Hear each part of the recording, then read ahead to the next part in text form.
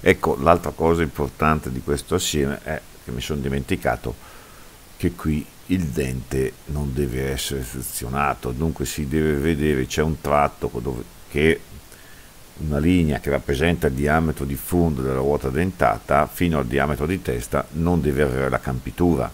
E poi per rappresentare il diametro primitivo deve essere indicato una linea tipo questa qua ok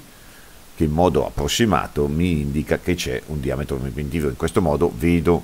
che questa è una subito eh, che questa è una ruota dentata. Inoltre di solito nelle ruote dentate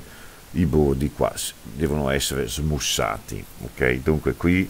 oltre a quello che avevo detto nel video precedente mm, deve essere molto chiaro che questo è che questa immagine rappresenti una vuota dentata va bene ci vediamo alla prossima arrivederci